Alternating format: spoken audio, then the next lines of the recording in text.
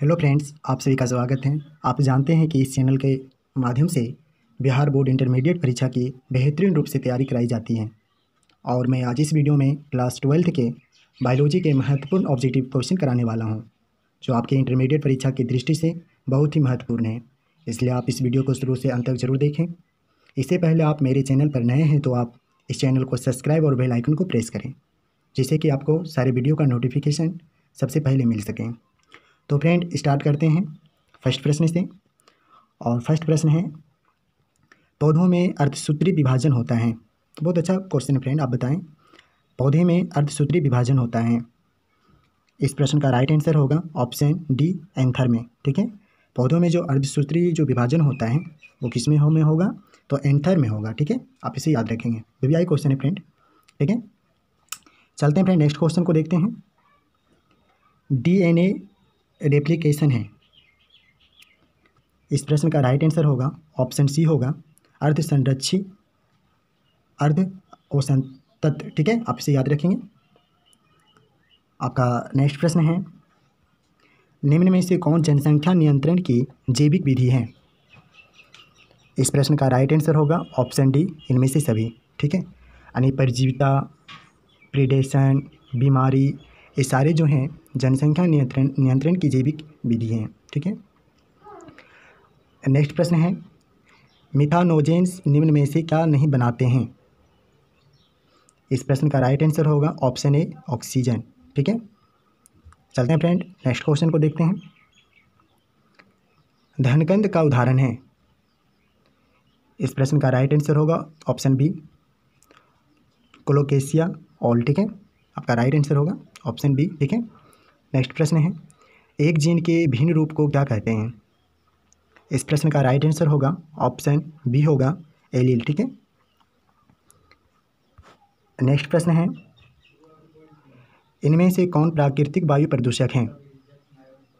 इस प्रश्न का राइट आंसर होगा ऑप्शन डी इनमें से सभी, ठीक है? तो आपसे पूछा क्या था फ्रेंड कि प्राकृतिक वायु प्रदूषक हैं, ठीक है? तो ज्वालामुखी से निकली गैस प्रागन प्राग, प्रागकण, धूलकण ये सारे जो हैं, प्राकृतिक वायु प्रदूषक हैं, ठीक है? तो इस, इसलिए फ्रेंड इस प्रश्न का राइट आंसर होगा ऑप्शन डी इनमें से सभी, ठीक है? नेक्स्ट प्रश्न है फ्रेंड आणविक कैंची जो डीएनए को एक विशिष्ट जगह पर काटता है, कहलाता है। इस प्रश्न का राइट आंसर होगा ऑप्शन सी होगा एस्टिक्सन इंडो न्यूक्लियस ठीक है? आप इसका राइट आंसर देंगे ऑप्शन सी ठीक है? नेक्स्ट प्रश्न है। द्विनिषेचन प्रक्रिया की खोज किनके द्वारा की गई? इस प्रश्न का राइट आंसर होगा ऑप्शन बी माहेश्वरी, ठीक है? इसका राइट आंसर क्या होगा फ्रेंड माहेश्वरी होगा। यानी द्विनिषेचन प्रक्रिया की जो खोज किया थे, किए थे, वो कौन किए थे? माहेश्वरी किए थे, ठीक है? नेक्स्ट प्रश्न है। इनमें से कौन चेन प्रारंभ कोडोन है? बहुत अच्छा क्वेश्चन फ्रेंड बताइए इसका आंसर इसका राइट आंसर होगा ऑप्शन ए ठीक है? ए ए यू जी ठीक है? आपका नेक्स्ट प्रश्न है।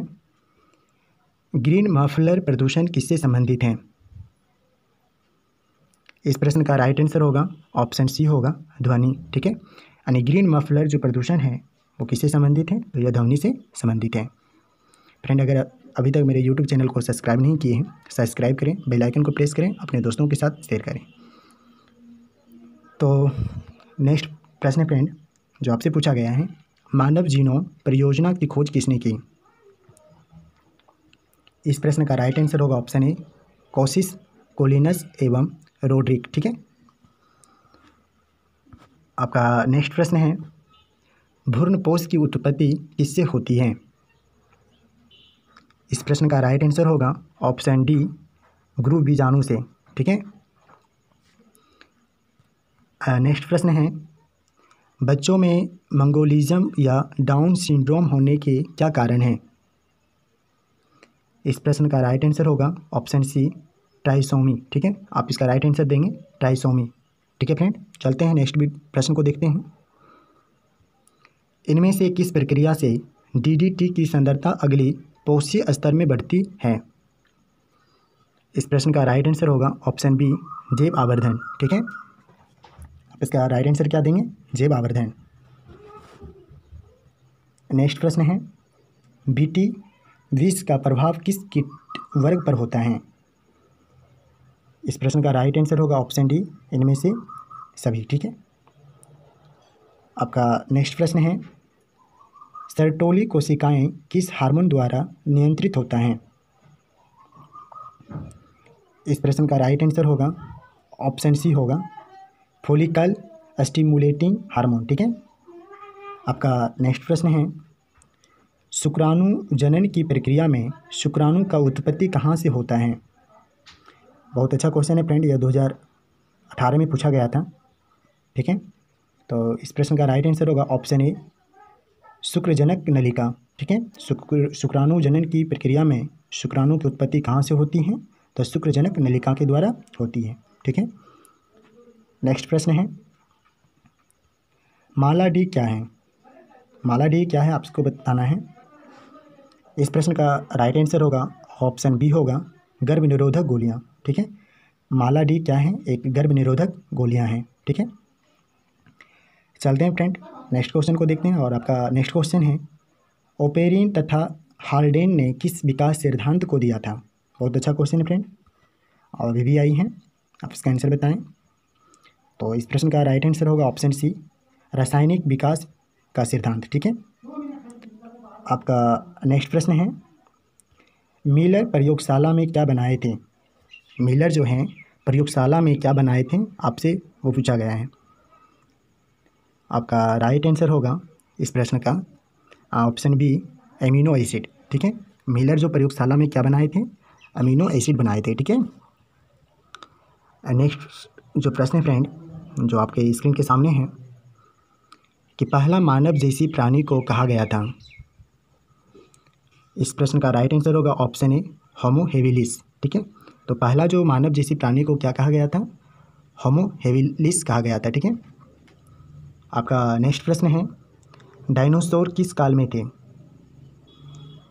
इस प्रश्न का राइट आंसर होगा ऑप्शन सी जुरासिक ठीक है?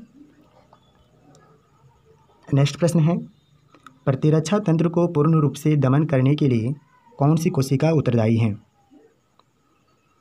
इस प्रश्न का राइट आंसर होगा ऑप्शन सी होगा, निरोधी टी कोशिका, ठीक है? आप इसका राइट आंसर क्या देंगे? निरोधी टी कोशिका। फ्रेंड आप सारे प्रश्न को याद करें जो कि आपके परीक्षा की दृष्टि से बहुत ही महत्वपूर्ण है और आपके परीक्षा में इसी से प्रश्न पूछे जाएँगे। आप वीडियो को एक से दो बार देखें और याद करने की कोशिश करें। और आप अभी तक मेरे यूट्यूब चैनल को सब्सक्राइब नहीं किए हैं, सब्सक्राइब करें, बेल आइकन को प्रेस करें, ठीक है? और आप चाहते हैं कि बायोलॉजी के सब्जेक्टिव का भी वीडियो बनाएँ तो आप हमें कमेंट करके बताएँ तो उस पर भी वीडियो मैं बना दूँगा, ठीक है? और आपका सिर्फ़ हमें सपोर्ट चाहिए, आप सब्सक्राइब करें सस और अपने दोस्तों के साथ शेयर करें, ठीक है? तो नेक्स्ट क्वेश्चन को देखते हैं, फ्रेंड। निम्नलिखित में कैंसर कौन है? यानी आपको बताना है कि जो निम्नलिखित में कैंसर कौन है, ठीक है? तो इस प्रश्न का राइट आंसर होगा ऑप्शन डी इनमें से सभी, ठीक है? जैसे लाइपोसा ल्यूकोमिया लिम्फो लिम्फोफामा जो ये सारी जो बीमारियाँ हैं, वो कैंसर की बीमारियाँ हैं, ठीक है फ्रेंड चलते हैं फ्रेंड नेक्स्ट क्वेश्चन को देखते हैं। निम्न में भारतीय गाय का कौन सा वैज्ञानिक नाम है? यानी आपसे जो पूछा गया फ्रेंड कि वैज्ञानिक गाय का वैज्ञानिक नाम, ठीक है? आप गाय के वैज्ञानिक नाम बताएँ। तो इस प्रश्न का राइट आंसर होगा ऑप्शन सी होगा बोस इंडिकस ठीक है? गाय का जो वैज्ञानिक नाम है बोस इंडिकस है, ठीक है? आपका नेक्स्ट प्रश्न है, निम्न में कौन सा ड्रग अपसाद एवं और निद्रा में उपयोग किया जाता है?